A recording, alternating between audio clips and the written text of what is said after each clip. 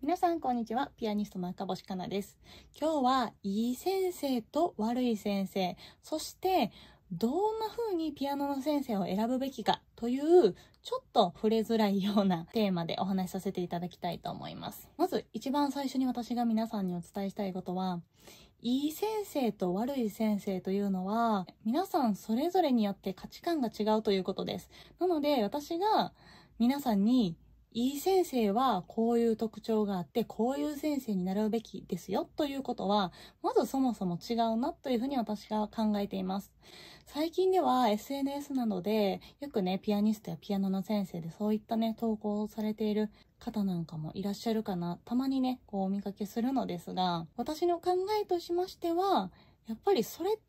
はその先生その方の価値観であっていろんな状況の方がいらっしゃっていろんなことを求めてピアノを習いたいなと思っておられてそれぞれのレベルもあってそれぞれの求めることもバラバラなので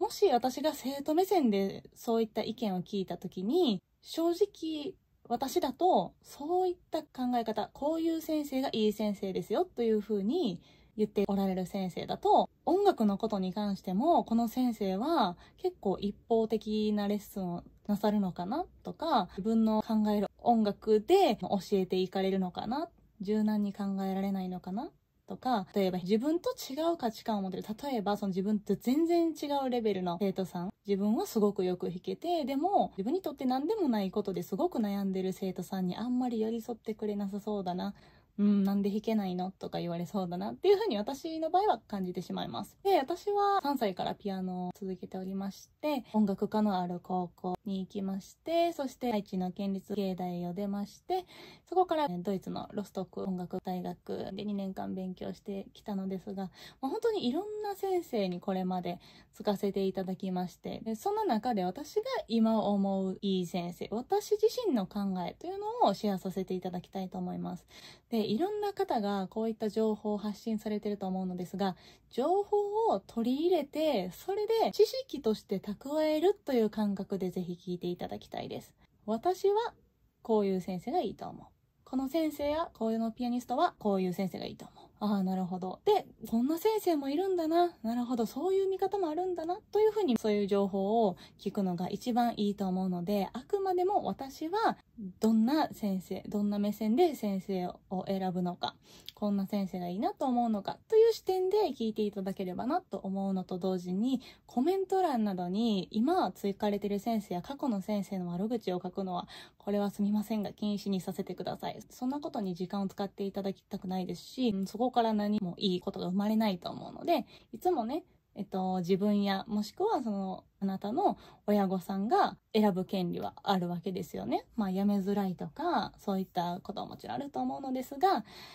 自分がつきたい先生につく自分が先生を選ぶ権利っていうのはあると思うのでそれぞれね先生方って今までの過去の経験だったりとかを踏まえて試行錯誤してなるべくいい形でレッスンをしたいってそれぞれの先生が一生懸命されてると思うので悪口はやめましょう。で、えっと、まあ話を戻しまして、私はどんな視点で先生を選ぶのかという、私が考えるいい先生ってどんな先生なのかっていうテーマでお話しさせていただきたいと思うのですが、まず私が大事だなと思うのは、人間性と音楽性、この2つにおいて尊敬できる先生っていうのは私にとってはすごく大事だと思います。この両方、どちらかが本当に素晴らしくて、どちらかが合わなければちょっと難しかったりもすると思いますし、まあこれもね人それぞれだなと思います。例えば音楽性が本当に素晴らしくて人間的にはちょっと意地悪だけど尊敬しすぎついでいきたいっていう方ももちろんいらっしゃると思うし、私の中ではもうこの両方はある程度大切だなと思います。ある程度ね長いスパンで先生とは勉強させていただくということが多いかなと思いますので、まあ、この2つはまず見ることの一つです。そしてね、よくね、初見で何でもいろいろ弾ける先生って素晴らしいとかっていうのも聞いたりするんですけど、確かに、まあ、初見でいろいろ弾いてくれたらね、すごいですよね。ああ、いろんなレパートリーされてるんだなとか思いますし、でも、それだけが本当に一概に重要かと言われると、私の場合はもっと大事だなと思うのは、その先生が、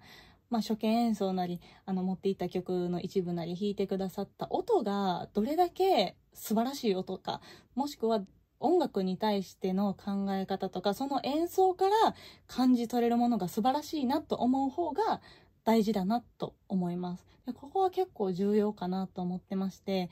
なぜなら楽譜を読むということって正直その段階としてはまだ緩いと思うんですよね。もう簡単とまでは言わないんですけど、頑張ったら誰でもこの音はどうとかって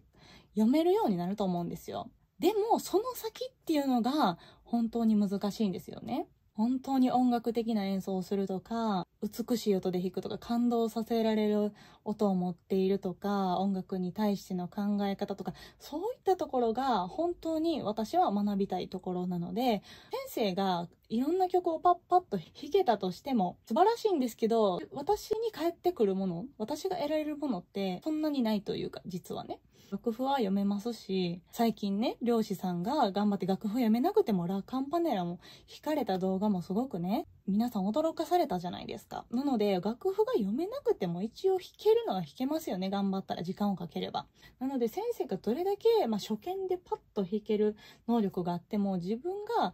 例えばその先生が初見で弾ける、素晴らしく弾けるっていうレベルがあったとして、でも、その演奏、その音はあんまりうん人の心を動かす音ではないとかただ音の羅列だったら私は意味がない意味がないとまではないですけど別につきたいなと思わなくてそれを超えるものの方が私は重要視しますね。なので初見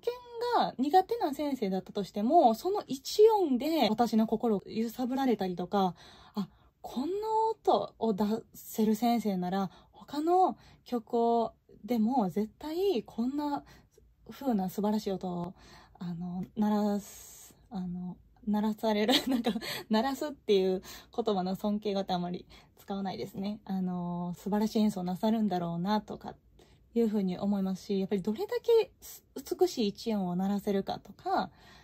あとどれだけ人の気持ちに寄り添えるか。